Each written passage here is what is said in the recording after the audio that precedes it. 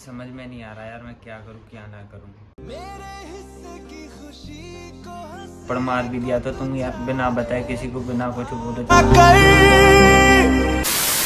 सो है गाइस कैसे हैं आप लोग? उम्मीद करता हूँ सब ठीक होंगे। बाकी गाइस तुमने मेरी ना लास्ट वीडियो वो वाली देखी होगी जिसमें प्रिंसी रो रही है लेकिन मैंने उसमें उसे बहुत हंसाने की कोशिश करी थी। बात क्या है ना कि उस दिन वो ना बहुत ज़्यादा मेरे से मस्ती कर रही थी। तो मैंने ना गुस्से में उसे एक थप्पड़ मार दिया, कभी ये बोल ली, जैसे तुम्हें पता ही होगा जब वो किसी लड़के की बात करती है मज़ाक में तो मुझे गुस्सा आ जाता है। मुझे उस दिन बहुत ज़्यादा गुस्सा आ रही थी तो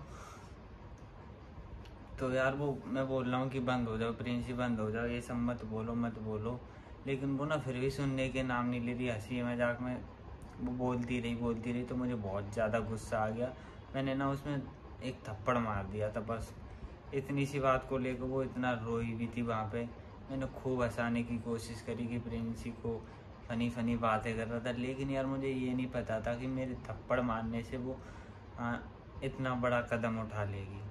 उस दिन तो वो मेरे से खूब अच्छे से मैंने चुप करा के उसको भेज दिया लेकिन मेरे को ये नहीं पता था कि वो मेरे घर भेजने के बाद वो वहाँ से कहीं चली जाएगी। मैं दो दिन तो उसने ना मेरे को कॉल ना मैसेज कुछ किया मेरे मैं इधर से कॉल मैसेज करता था, ना मुझे कुछ रिप्लाई किया, ना कुछ।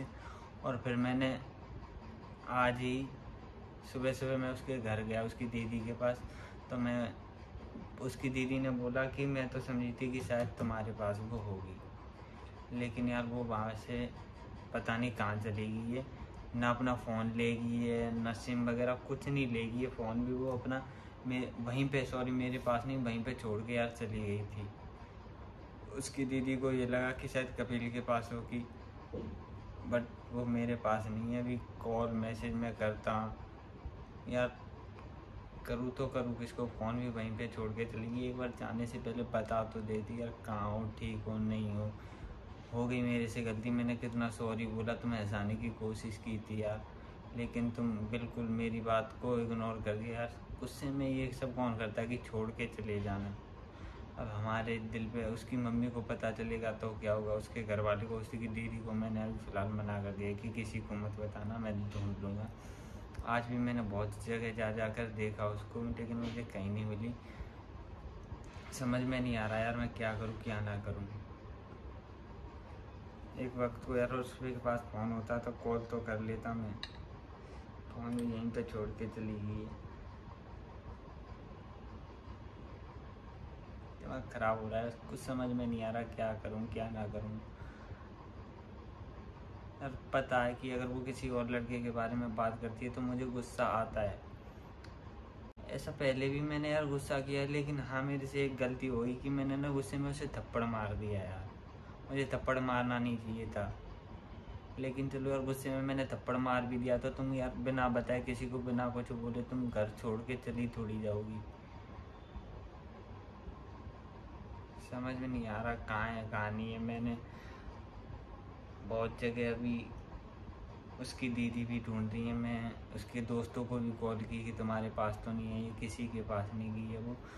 पता नहीं यार क्या करूँ, क्या ना करूँ अकेला सा।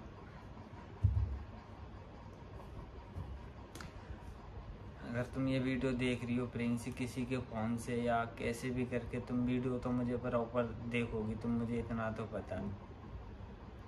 लेकिन यार मुझे इतना परेशान मत करो कि तुम छोड़ के चली गई तो आ जाओ यार। आज के बाद ना मैं कोई थप्पड़ मारूँगा, ना तुम पे कभी गुस्सा करूँगा। लेकिन बस हो जाता है, जिसके, जिसको किसी से प्यार होता है ना तो अक्सर करिए अगर किसी अदर बॉयज़ या अदर मैं किसी की तारीफ़ करता हूँ, तुम मेरे को थप्पड़ मार देती हो तो मैं तो इतना सीरियस नहीं सीरियसली नहीं लेता, क्योंकि मुझे पता होता है मैं मज़ाक कर रहा था। लेकिन मुझे भी तुमसे प्यार है, मैंने गुस्से में थप्पड़ मार दिया। तुम किसी और लड़के की बात कर रही थी। मेरे मना करने के बाद भी तुम चुप नहीं हुई, क्योंकि तुम यार हर रोज़ मज़ाक करती हुई है सब कि मुझे बोल मुझे नहीं पसंद है। तो आगे उस दिन ज़्यादा गुस्सा, थप्पड़ मार दिया।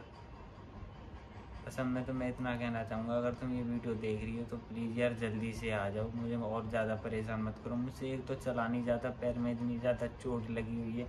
चलते चलते पैर में स्वेलिंग और आ गई यार। कहाँ ढूंढूँ मैं तुम्हें? कहाँ ना ढूंढूँ अकेला? चलो, अगर मैं भाग दौड़ कर लूँ इतनी तो मैं फिर भी यार तुम्हें ढूँढने के लिए कहाँ कहाँ नहीं गया मैं। तो यार जहाँ कहीं भी वो आ जाना। और गाइज़ यार तुम कमेंट में इतने कमेंट करना उसके लिए कि जल्दी से आ जाए। मेरी ना सुने तो तुम्हारी सुन ले।